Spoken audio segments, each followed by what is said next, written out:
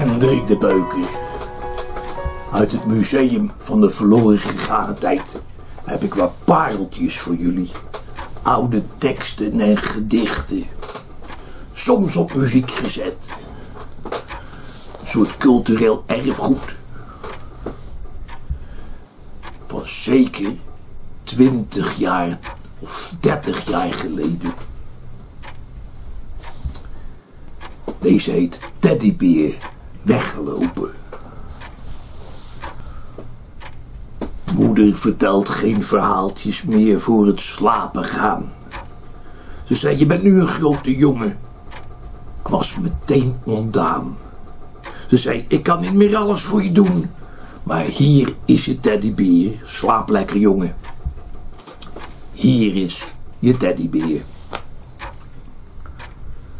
Nu was het gedaan. Geen verhaaltjes meer. Ik plinkte toen een traantje weg. En er volgde er nog veel meer. Dus de volgende dag besloot ik te vertrekken met mijn teddybeer. Twee afgekloven pootjes en een oer nog aangenaaid, verliet ik het ouderlijk huis een dag toen stik verdraaid.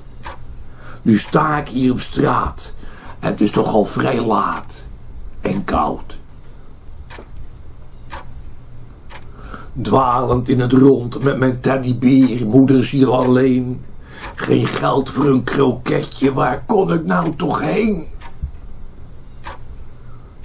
En ik vroeg me af, zouden ze missen? Ik blijf nog even weg. Lekker koppig blijven doen. Verstoppen achter de heg. Maar wat was dat nu toch naar? Zaten ze met z'n allen te eten aan tafel zonder mij?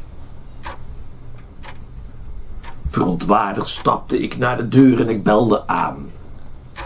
Mama deed open. Joh, waar kom jij nou toch vandaan? Ik had tranen in mijn ogen en zei... Dus van de regen. Wat is het weer fijn om thuis te zijn, mama.